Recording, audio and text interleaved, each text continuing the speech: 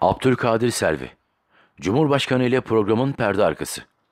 İnsan kendi katıldığı ve iki kanaldan canlı olarak yayınlanan bir programın perde arkasını yazar mı? Cumhurbaşkanı Erdoğan'la programdan sonra öyle şeyler yaşadık ki kendi katıldığım programın perde arkasını yazmak zorunda kaldım. CNN Türk Genel Müdürü Murat Yancı, Cumhurbaşkanı Erdoğan'la CNN Türk ve Kanal D'de özel yayın planlandığını, yayında soru soracak gazeteciler arasında beni de düşündüklerini iletince ilk olarak aklıma gelen nasıl haber çıkarırız sorusu oldu. Programa katılmayı memnuniyetle kabul ettim. Çünkü gazeteci olarak benim görevim soru sormak, haber çıkarmak. Kanal D Ankara temsilcisi Zafer Şahin'le ilk olarak soruları hazırlamak üzere bir çalışma yaptık. Programın moderatörlüğünü üstlenen CNN Türk ana haber spikeri Fulya Kalfa ve Kanal D ana haber bülteni sunucusu Deniz Bayramoğlu ile ortak bir çalışma yaptık. Program çarşamba günüydü ama soruları dosyaya salı günü. 12.20'de kaydetmiş, mailime saat 14.01'de atmıştım. Program için Çankaya Köşkü'ne hareket etmeden önce ise aramızda bir hazırlık toplantısı yaptık. Çankaya Köşkü'ne girdiğimiz anda dahi yeni sorular ekledik. Çünkü sel bölgesinden gelen haberler sorulardaki önceliğimizi değiştirmemizi gerekli kıldı. Çankaya Köşkü'ne programdan önce çıktık. Teknik ekip yayın hazırlıklarını yürütüyordu. Erdoğan'ın kafası selle meşguldü. Cumhurbaşkanı Erdoğan programa geldiğinde kafası sel bölgesindeydi. Koltuğuna oturur oturmaz, bu afet Giresun, Dereli ve Rize'den daha beter. Helikopterler inemiyor, bazı yollar kapandı dedi. Zaten canlı yayına girdiğimizde de Fulya Kalfa daha bizleri anons etmeden Cumhurbaşkanı sel bölgesindeki son durumu anlatmaya başladı. Bu durum beni şaşırtmadı. Erdoğan bir kriz anı olduğunda o noktaya odaklanıyor. Verda Özer'i sordu. Cumhurbaşkanı Erdoğan çok güçlü bir lider. Tecrübeli bir devlet adamı ama onların çok üstünde bir özelliği var. İnsani yönü bambaşka birisi. Örneğin yayında Posta Gazetesi yazarı Verda Özer de olacaktı. Erdoğan yayın öncesinde Verda'nın neden olmadığını sordu. Sağlık sorunu yaşadığını söyledik. Hemen ilgilendi. Hastaneden eve geçtiği bilgisini iletince rahatladı. Bu arada Verda Özer, vertigo nedeniyle baş dönmesi ve denge sorunu yaşıyor. Erdoğan'ın enerjisi. Yayına girdiğimiz andan itibaren Erdoğan'ın bir özelliği dikkatimi çekti. Biz soruları sordukça daha çok açıldı. Öyle ki kısa sorular ve net cevaplar nedeniyle yayın planlanandan daha önce bitti. Yayın bitince konuştukça açıldınız dedim. Öyle mi oldu diye güldü. Saati kuran Cumhurbaşkanı. Tokyo Olimpiyatlarında Cumhurbaşkanı Erdoğan maçlardan sonra sporcularımıza telefon açarak onları motive etti. Çin galibiyetinden sonra voleybol milli takımımızın kaptanı Eda'yı arayıp gözlerimizi yaşarttınız. Maçı başından itibaren izledim demişti.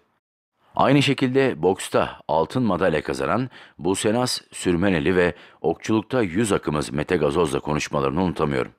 Sporcularımıza arkalarında Cumhurbaşkanı'nın ve Türk milletinin desteğinin olduğunu hissettirdi. Cumhurbaşkanı sporcularımızın maçlarını izlediğini söyleyince Japonya ile saat farkı nedeniyle saat mi kurdunuz diye araya girdim. Kurduk tabii dedi. Olimpiyatlarda mücadele eden sporcularımızın maçlarını izlemek için saatini kuran bir cumhurbaşkanı. Erdoğan işte böyle bir lider. Son dakikalar haberler.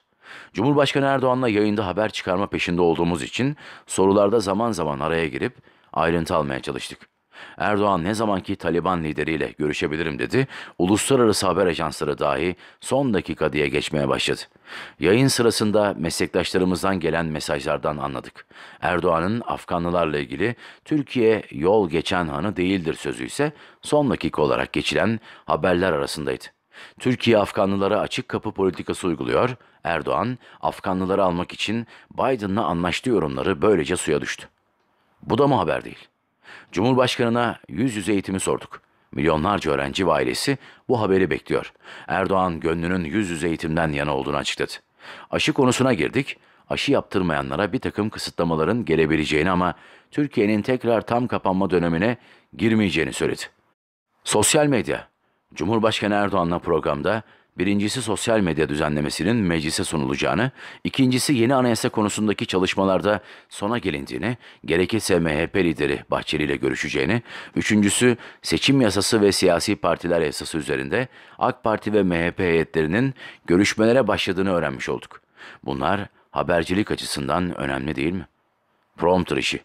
Cumhurbaşkanı ile programdan çıktıktan sonra arkada prompter'ın gözüktüğü bir kare üzerinden sosyal medyada linç kampanyasının başlatıldığını gördük.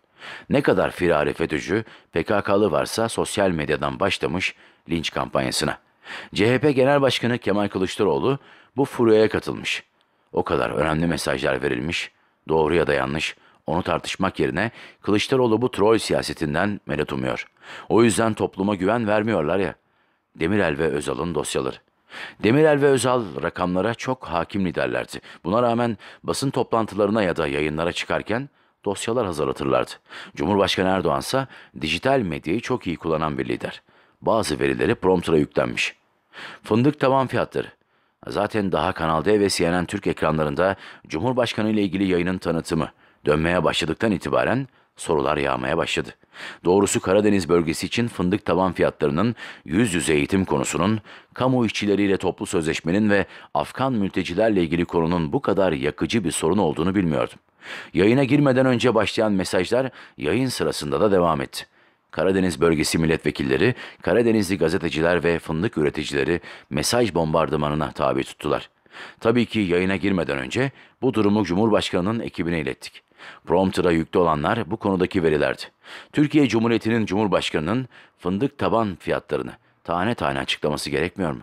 Erdoğan da onu prompter'dan okuyarak yaptı. Kılıçdaroğlu üç maddeyi sayamamıştı. Kendi tercihidir. Saygı duyarım ama keşke Kılıçdaroğlu da çıktığı yayınlarda dosya hazırlatsa da ya da prompter'ı kullansa. Kürt sorununun çözümüne ilişkin partisinin hazırladığı 17 maddenin ilk 3 maddesini sayamamış.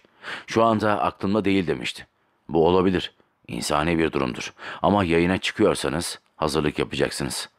Sufle işi. Dün sabahtan beri yok efendim bu canlı yayın değilmiş, band kayıt yapılmış, pencereden ışık sızıyormuş yalanıyla uğraştık. İki ay önce de aynı yerde Cumhurbaşkanı Erdoğan'la TRT'nin yaptığı canlı yayın için benzer iddia gündeme getirilmişti. Canlı yayına girdiğimiz an ekranda zaten yazıyor. Ayrıca sızan ışık değil, Çankaya Köşkü'nün perdesi. Muhalefeti destekleyen seçmenler bu zekayı hak etmiyor. Bir de sufle işi var. Cumhurbaşkanı Erdoğan'a sosyal medya düzenlemesini sorduk. Erdoğan kriz anlarında sosyal medyadan yürütülen kampanyalara dikkat çekip çok farklı bir yere doğru adeta dedikten sonra kısa bir es verdi. O sırada ben sevk ediliyor dedim ama Erdoğan sözünü evriliyor diye tamamladı. Aman ne büyük bir krizmiş. Yangın, sel felaketi canımızı yakarken bunlar bir sözden medet umuyorlar.